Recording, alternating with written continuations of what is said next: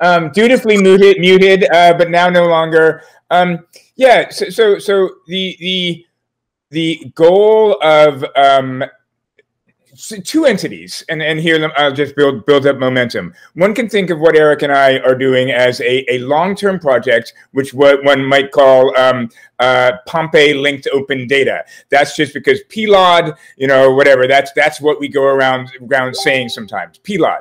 Um, there is also the the Pompeii Artistic Landscape Project. The Pompeii Artistic Landscape Project is what um, the Getty Museum has given money to us as part of its digital art history. I think that's what it's called, or digitizing the ancient, or something like that. Um, um, uh, and and and we wrote a grant saying that that we want to place um, art wall paintings from Pompeii, the famous city, destroyed in now we know October of uh, of, uh, of 79, no longer August of 79. Small detail that is not our focus. Um, uh, we want to be able to allow people to search across the site to place small to place um, artworks in their urban context because somewhat surprisingly it is not possible to do that. There are feet and feet of, of, of books on shelves that do capture a tremendous amount of information but it's not possible in a systematic fashion to say to, to come up with a concise query in which you're reasonably confident with the results, such that you as a human can then go on and say, I want to start thinking about Pompeii. We're not, we're not there yet. And of course, Eric and I haven't completely put us there, but I think today we want to show you where it is that we're, we're getting on the path towards being able to, um, to, to uh, the path towards being able to do that. And so Pompeii, Pompeii is interesting because um, you know there's this entity Pompeii. It is broken down into regions which are modern. Eric would already be showing you a map of Pompeii by right now, but I'm holding my hands in a, a shape like this big, and it is divided into regions. And each one, or this shape, whatever, it's not. It's much bigger than this. Um, it's divided into regions, and each of those regions are divided into insulae. Each of those insulae are divided into um, what are traditionally can be called your Pompeian houses, but of course not all of them are houses. So Eric and I came up with a we call them properties, and each one of those then is, is divided into into rooms but of course they're not all rooms so we call them spaces. These are the kinds of arguments that that somebody will somebody may say wait but it works most of the time and we're reasonably happy to be able to plow through those those rooms. Um, Eric has a GIS file in which he has drawn the lines for walls, and we as we call anything like that a feature. Now you're switching a world on that feature. There is an artwork created. That artwork is divided into zones. That zones does things like depict Dionysus, and Dionysus has a crown. And so that crown, going back to what I said, is linked linked to Pompeii. And imagine um, uh, a, a linked open data set that takes all those small entities, whether it's Dionysus or whether it's the uh, mosaic on the floor. And mostly, a lot, not mostly, a lot of what it says is this thing is part of this thing, which is part of this thing, which is part of this thing, which is part of Pompeii. And let's bring that all together into a graph and be able to query it. And uh, we believe interesting things will start to happen on that basis. And today, if we can hint at that at all, giving you practice on how we're doing it and giving you a sense that that that not, somewhere between vaporware and you're confident we can do it. That's where I want people to uh, to end up to capture the moment of creation.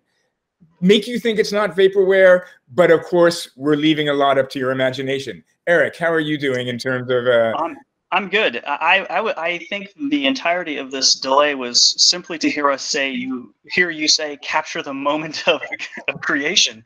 Uh, that's quite a it's quite a burden for our presentation. But uh, now that I have done the low tech work of going to get a hard drive and saving the, the file onto that, uh, I think I think I am prepared to share a screen with you guys now. So I want to start with something a little bit um, a little bit different um, in terms of this project. Rather than starting at the technology, I want to start with the the art, and not even really with what's in the art for the most part. I want to just start with a simple concept, which is that for the last 50 years, the Pompeian studies have been very different from the 250 years or 200 plus years that preceded them. In the last 40 to 50 years, excuse me, there's been largely a moratorium on digging into the areas that have been covered by Mount Vesuvius.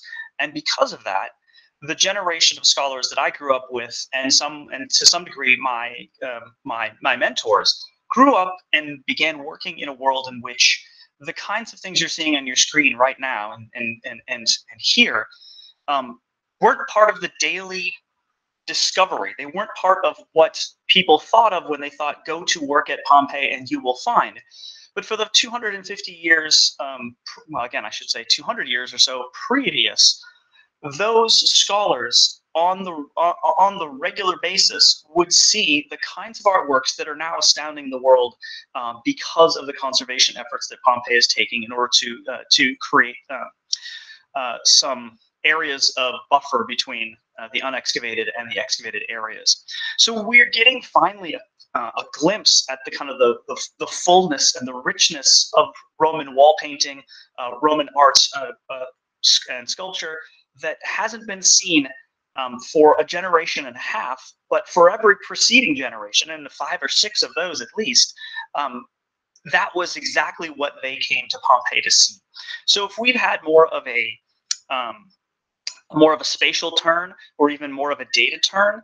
Uh, part of that is also that the richness of the information that Pompeii has given for so long has not been forthcoming. And so now we have an opportunity to take this spatial data quantitative turn and reapply it to a new world of, of, of data that we hadn't been thinking about before, which is individual objects, individual representations painted on the wall. Um, I'm going to talk very, very briefly about two projects because we can't really talk about PALP without talking about the PBMP, the Pompeii Bibliography and Mapping Project, because it is the spatial background to um, the the um, Pompeii Artistic Landscape Project. And so I'll be I'll be just saying PALP from now on. So you'll you'll just to save us all a little bit of ear ear strain. Um, I also wanted to just point out that this project is based upon four major sets of works. Um, and these are huge cataloging efforts that took the better part of the second half of the 20th century to accomplish.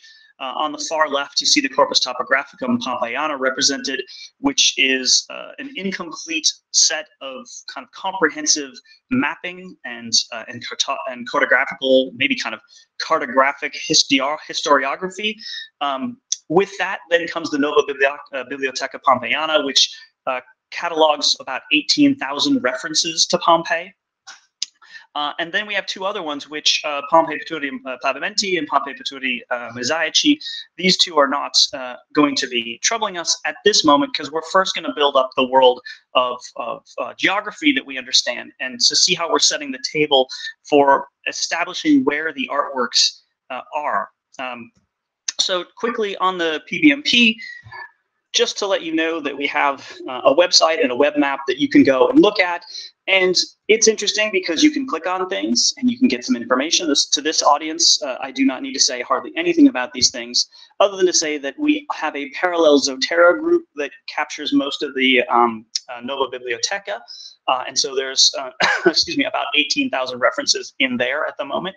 Um, and it's also linked out to Pompeii in Pictures, which is this really wonderful site. And you'll hear a little bit more about it because we've uh, collaborated with them uh, and have 60,000 of their high resolution images uh, in our collections. Now, what's important about the work that we've done with the PBMP is that we've begun to be able to, and I kind of look at this slide and I think to apologize to, um, to Elton, who's seen it uh, a couple of times now.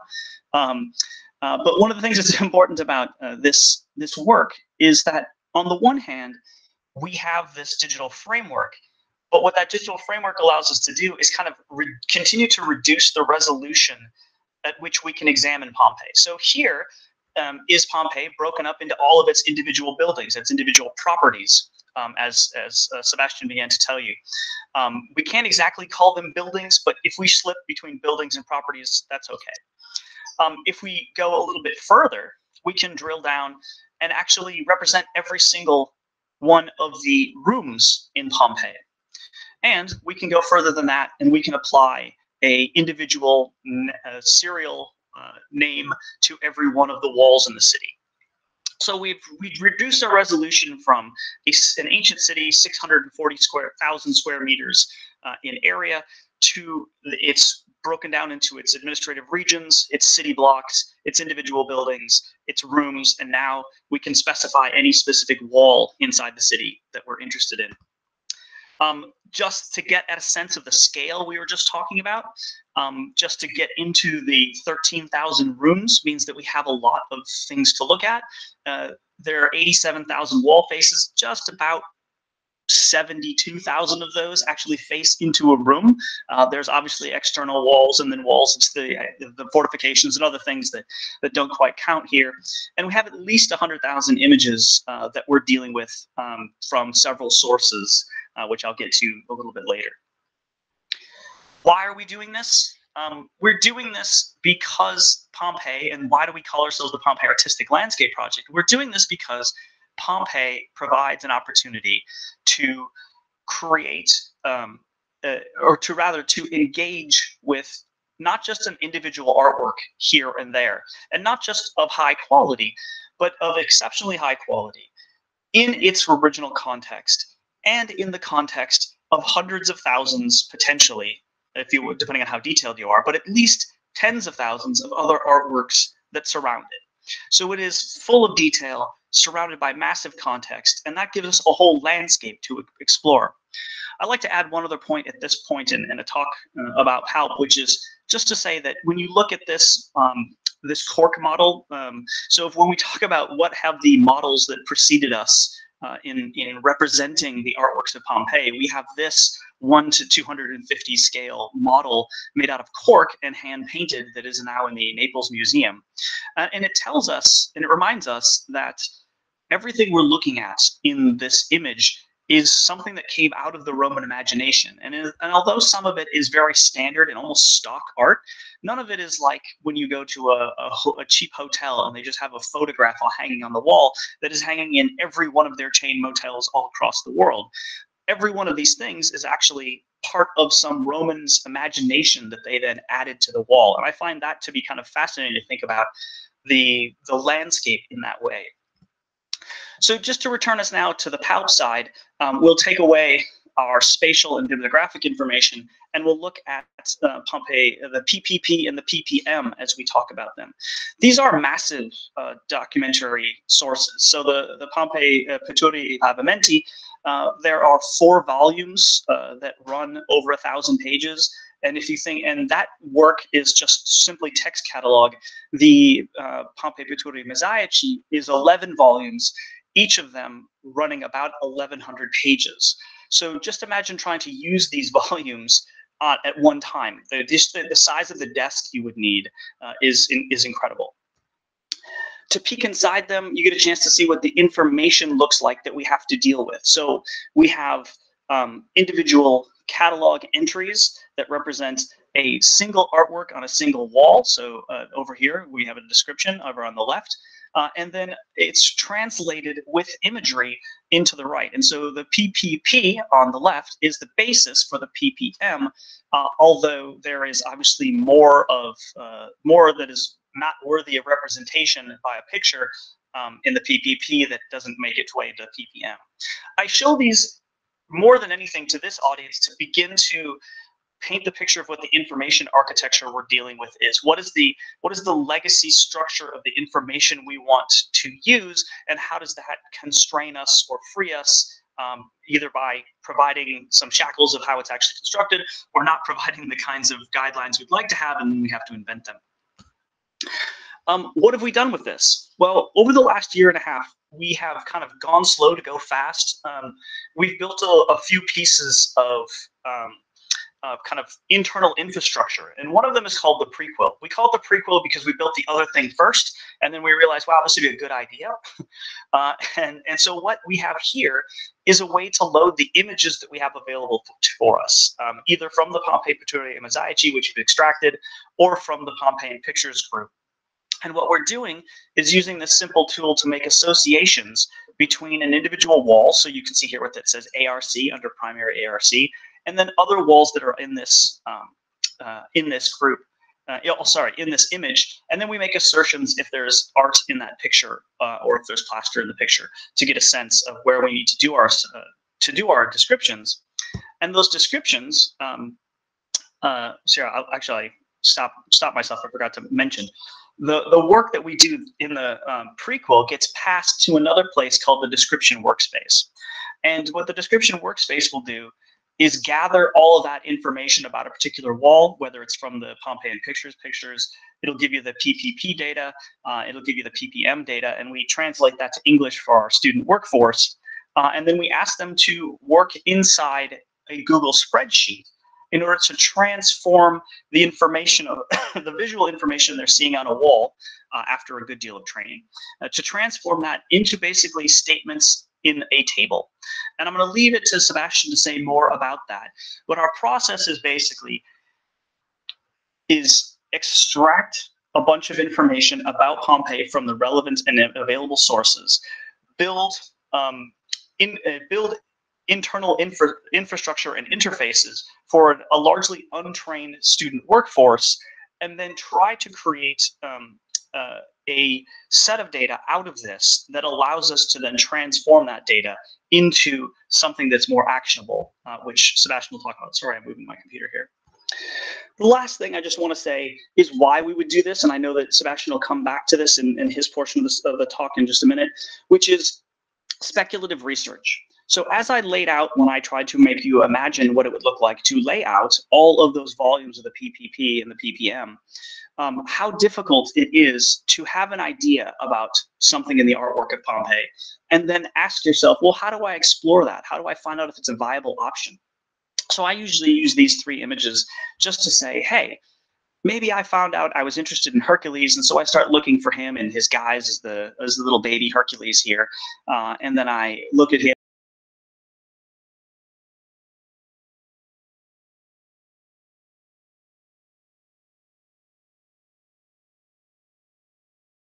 Um, before I, um, um, Eric, thank you for that that introduction. Again, um, um, fun to fun to be here wherever it is that we that we are. Fun to be with you. Um, uh, before I hit present on my uh, screen, I did um, I did talk a little bit about um, trying to capture a moment, and that that's actually that's actually really really true. Um, so I am just as, as as a preview. We're going to go into sort of you know the live part. Um, uh, I'm going to try and run some Python. I'm going to try and uh, I don't think I'm actually going to execute a SPARQL query, but I'm going to trip through, click through to the query interface for a triple store. Um, uh, I don't, and, and, I, and I don't have a set of slides. So trying to capture ca capture a moment, it is the case um, that because I'm showing things live, I assume that I am not quite going to give enough context for everybody. So there's opportunities to say, hey, wait a second, Sebastian, stop. Like Eric or Elton, you guys know me I will not be insulted if you say stop and and and and say something. I do not the whole, know the I do not know all of you, um, and I can't even see everybody's here.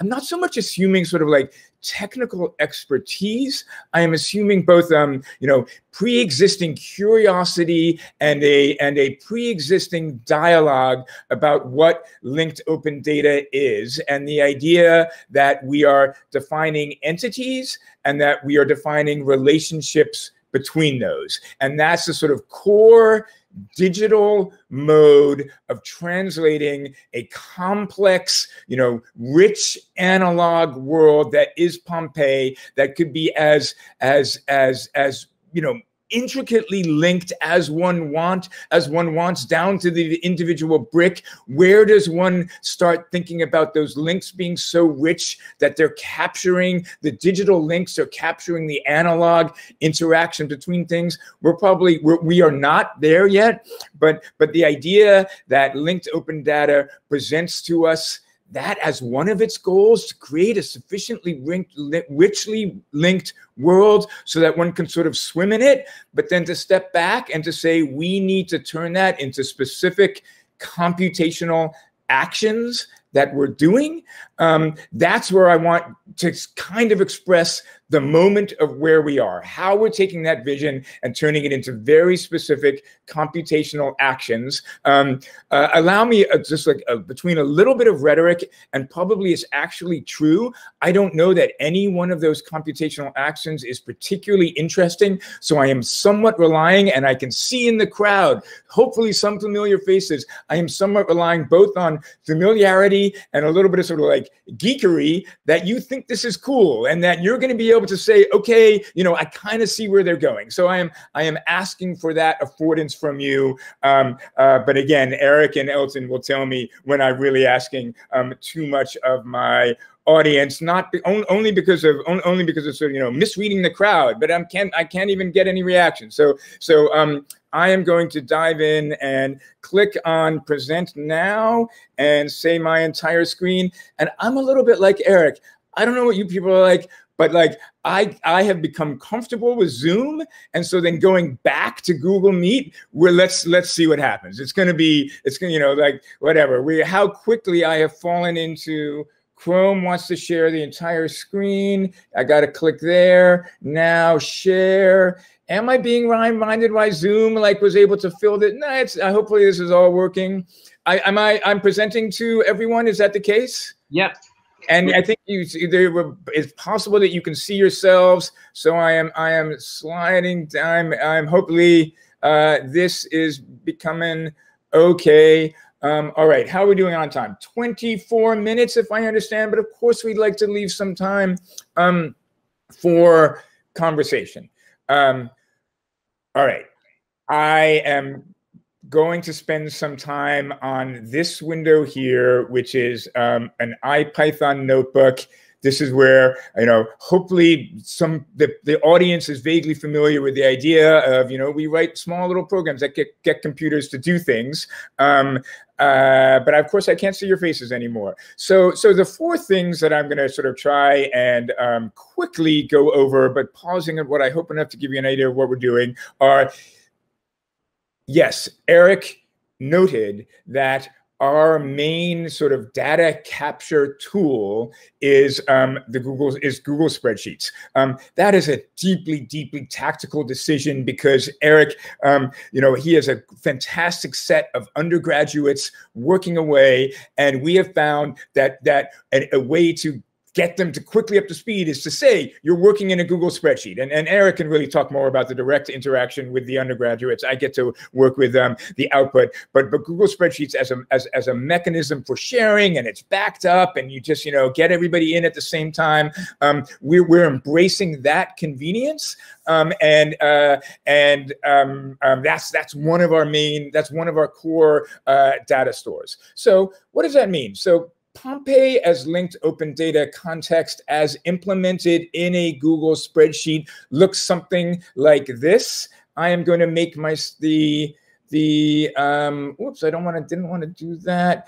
Uh i got it not sure what that is. Um i don't know how big or small this is. Um i hope and and somebody can sort of interrupt me that that this is a what you're seeing right here is a serialization that is a specific representation of something that we call a triple. I hope this is not the first time that the concept triple has come into um, into this community. I'm sure that's not the case. But what am I saying? Pompeii, it's it is a uh, city. Pompeii has a has a, a Dublin core terms title. Um, it has a small description. It has here I am saying Pompeii is equivalent to the Getty vocab um, uh, URI uh, that you see right here. And I hope it's not so small and people are leaning in. Um, I wish uh, why I tried to make it bigger, but then uh, I'm not even going to try and do that at, at 4.40 in the morning. Um, uh, the Pleiades URI, the Wikidata, uh, sorry, URL, the Wikidata URL. Um, so again, create, instantiating our version of Pompeii, a very abstract thing, linking it to other people's versions of Pompeii, going on and saying region one. This is this is where um, Eric was showing the different maps with increasing detail. Um, there, there, there is a thing, region one. And by the way, it is spatially within Pompeii. And if I come, if I start scrolling down to the bottom, you just see a long list of three-part statements, triples. Um, we're coming to uh, region R9, I7, an insula. And by the way, it's within region 9 and region 9 will have been said to be within pompeii. So this is our this is a serialization of just a, a very simple um, spatial hierarchy for pompeii.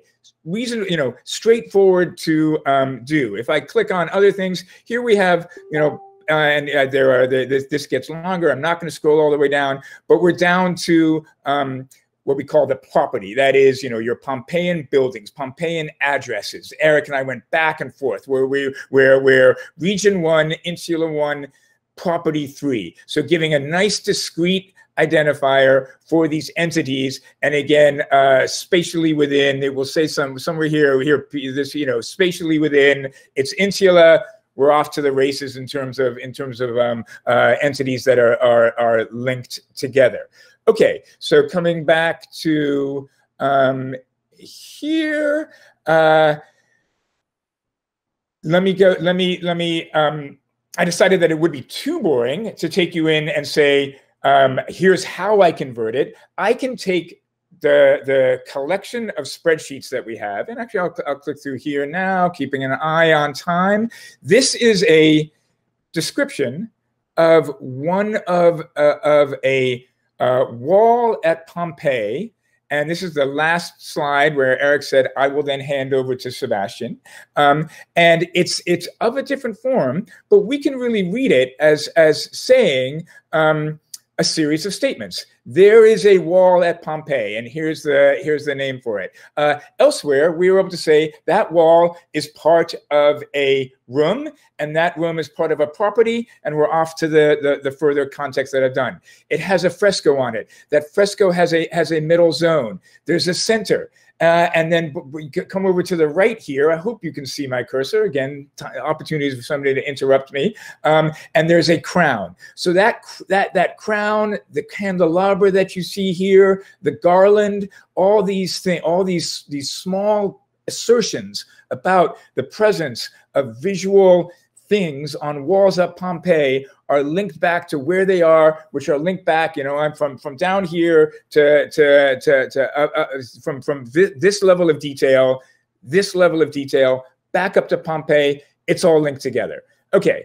Um, briefly, Eric and I would be happy, to the extent we have time for conversation, to to to show you more of that. Um, I can take this agglomeration of Google spreadsheets and turn them into uh, uh, properly serialized uh, triples. And I do that and we take all that and this is a regular side effect as an indication of our goodwill as citizens on the internet who really want to share everything we're doing probably overshare everything we're doing um, we put that um, on github and i think i uploaded this within like the last five or six hours view raw because it's too big. Um, and I have a couple of goals, so it's going to load. So can I make this bigger? Yeah, that okay. Yeah, Google spreadsheets didn't like. So so this starts to be something that um, uh, is so is not user friendly to show in a talk, but I hope starts to give some of you all of you a sense that yeah we are searching we are we are sharing good reusable um, data. If i come down and search for geojson you will see here. I am highlighting and i really i do hope it's big enough to be readable.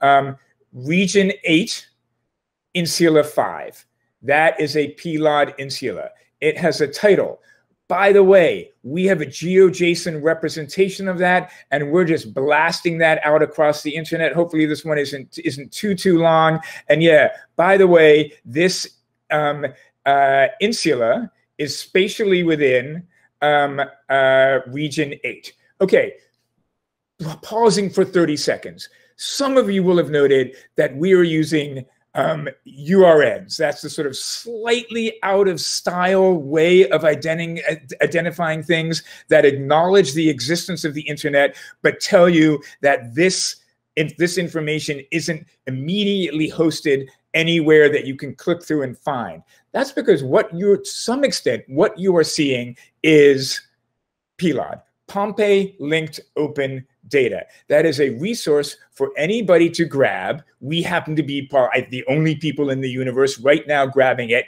and to integrate it into something that might be a nicer looking website and let and and and let the world browse it. That is um, the reason we are doing that is because yeah, the Getty gave us money to do the Pompeii Artistic Landscape Project, and that is going to manifest itself at what we hope is a nice and powerful website that lets people search art, but there is more at Pompeii than art. And so we want to build an open ended architecture that is going to let us or anybody collect together linked open data about Pompeii, um, aggregate it, add stuff in, make your own interface. Perhaps you want to make the, uh, the, the basalt mill landscape pompeii basalt mill landscape project and you're gonna you're gonna you're gonna be able to use our you know our spatial infrastructure, our linked open data infrastructure, and make your own website. And that would be super cool. We hope you we, we hope you link to ours, but we can't make you.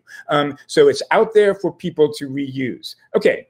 Um, coming back to what uh, coming back here all data on github it's all loaded into a triple store i'm actually not gonna for interest of time i'm not gonna click through on that um, uh, I'm coming to this section now, three queries that will be fundamental to PALP. That's what you're seeing right here. So let me, um, I'm sure I ran this all and it worked, but I'm just going to do it again. Um, great. Coming down, this is stuff that you really don't care about. I'm connecting to the triple store. Like I said, uh, you don't care about that. Just running a quick query to see that there are 409,222 triples in a triple store right now. A tiny, tiny, small number, just what what I made sure was working for um, working for today.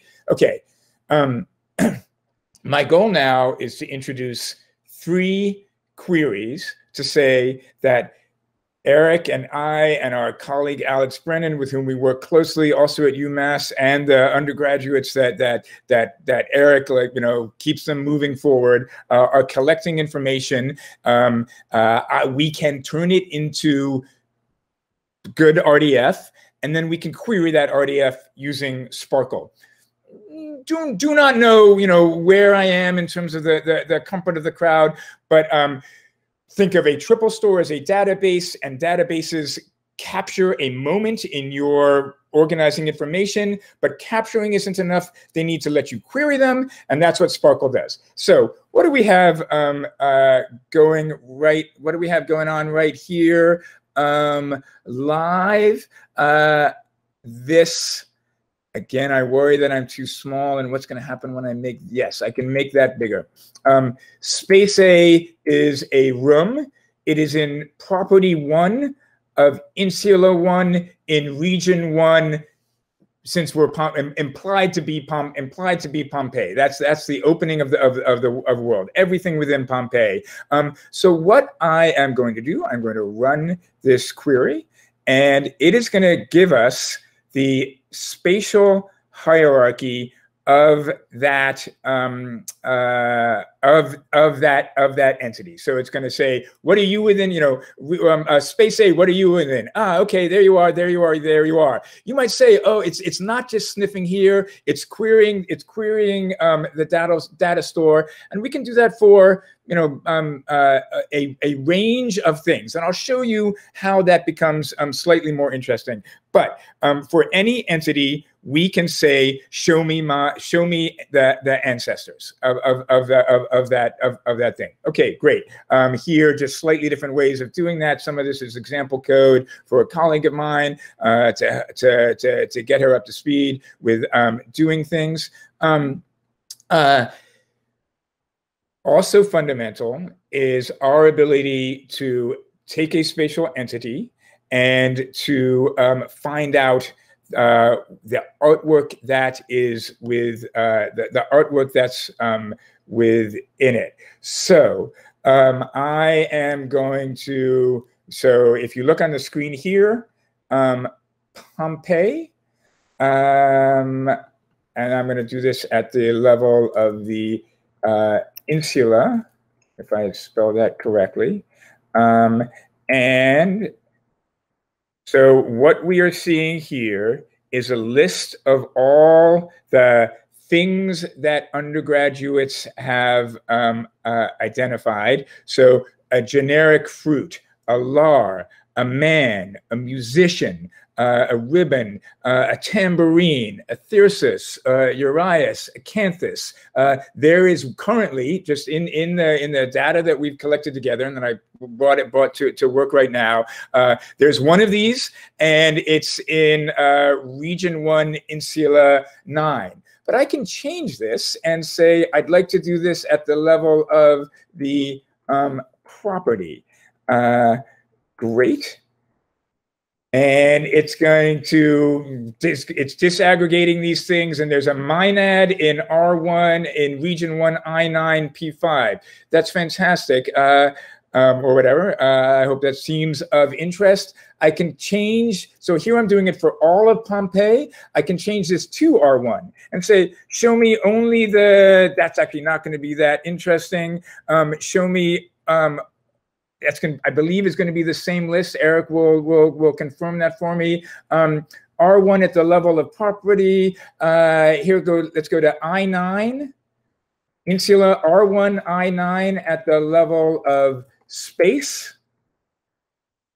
Um, and we are again um, uh, able to group according to the well-known spatial hierarchy of Pompeii and uh, to list at the various levels of detail of that to tell us that there's an amulet in region one, insula nine, property five, space eight, space eight, and by the way, there are two of them. So I'm hoping to show you that that our ability to query um, the the distribution of um, uh, aspects of the art of Pompeii as described uh, down to a fair amount of detail um, is real. And as we put in more information, these queries will become more interesting because they will put humans in the, the ability to say, uh, show me all the candelabra. And by the way, um, show me that they're in houses that have, um, you know, more than four rooms, that kind of thing will all be able to be queried along these lines on the basis of that uh, that data that you saw in GitHub that anybody can um, uh, download and uh, make their own interface to. Um, all right, uh, so that's that's take a take a, a space. Uh, and show me what's there, a, a, a, spatial entity, and show me what's there. We can also sort of um, go from the other um, uh, the other perspective and say, um, uh, and here I just left this here, bird um, broken down by region. So this will become all the birds. And I'm very happy, you know, we, we it, it will be possible to say that a crow is a bird. And so if you search for bird, you'll get all the crows. If you get all the crows, if you search for crow, you'll only get um, uh, you'll, you'll, you'll only get the birds that are said to be to be crows. But I can again come down and and break this up a little bit more. Um, property there. So um, now I'm list, right, listing it by property, finding all the birds, or I come down and list it by space. And you're seeing the birds listed by space, which is room. And then I can even go so far as to feature. I know that's going to um, work reasonably well. And those are, we're pulling out um, Eric's last spatial level of detail to say um, uh, there are birds on these walls. So so you both you can't you can. I hope that it looks like we show that we can search for individual identified aspects of the art of Pompeii at various levels of spatial granularity, and that um, uh, all we need, not all we need, but we need a nicer looking interface than a Python notebook. Okay, um, coming back up to the top, uh, the Plod browser. Obviously, we're, we're, we're getting on in time. Um, let me just, if I could just very quickly take you to uh, this fine I haven't used it in the last 20 minutes. So Heroku, which is a cloud-based um, platform for delivering uh, functionality across the the, the internet. Um, uh, this is um, a pretty industrial by design looking website. If you probably can't see, I'm putting it in a, putting website in scare quotes as I sit here and talk to you. Um, uh, fairly industrial looking um, uh, browser for those uh, for, for, triples. And I'm looking at time a little bit. I don't want to go over too long. Hopefully, do will slip in just a few minutes for conversation. But this should feel like you are looking at um, what, what may be familiar. If I've done anything, it's to it's to give you a sense that um, uh, these are just different views of the of, of the same data. So this is a this is a representation of Pompeii serialized into HTML. Uh, again, the same types of things that I was looking, the exact same information that I was looking at when I showed you the spreadsheet, um, but with adding saying, um, by the way, region one points here and says region one says that it is spatially within this, and this is Pompeii. Um, and then I'm showing you here the, uh, the, the artwork within Pompeii. I'm only showing you the first 30. Before I come back to that, let me just say, let me just point out that I can click here onto region one and it's telling me all the things that are um, uh, pointing here. And so region one insula 14 point here i'll go actually down to um, i9 that points here. And look how ugly this is. I'm just blasting the geojson string. But of course i will turn that and show that into the map. But like I, talked at the very beginning the moment of creation between vaporware and actual working website um, hopefully it makes sense that we'll be able to turn this into a nice displayed map.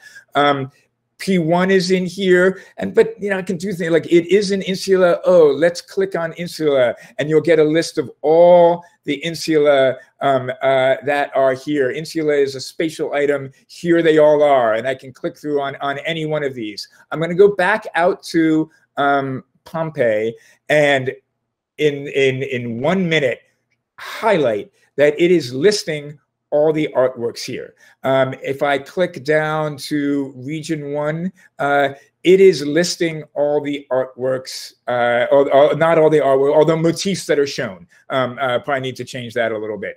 Um, uh, this is the the segue where I now am going to ask you to use your imagination and to to say that that PLOD is is a information resource and I've like strapped on just a quick and dirty interface for browsing it. But Palp will be uh, one of the things that it will be will be a website that will make this more visual. It will show you some, these images. Um, it will show a map. It will allow you to click through. We'll have an interface for, for constructing queries that say, show me all the garlands within, uh, again, you know, the type of query that I said before, show me all the garlands that are, that are within Insula 1. And by the way, I'd like them to be uh, in, in houses that face this street. But all of that is specific interface work to turn this generic resource into a website that we can plausibly call the Pompeii Artistic Landscape Project because it not only looks nicer than this, but it creates ways of interacting with the information that do let people explore just that, the artistic landscape. Um, and with that, I will stop sharing. You're seeing my, uh, uh, I, hopefully I've stopped sharing and I come back to I, I, don't know where I've of course now lost the meeting window. There I am. Um, uh, with with two minutes to go, um, that either was way too fast or it caught some sense of of yeah between Eric and me is a dialogue that there where we where we intersect as Roman archaeologists with computational interests, and we are able to take high level ideas and turn them into specific computational, con- you know, digital constructs and computational steps that will enable you and others to explore Pompeii. That's it.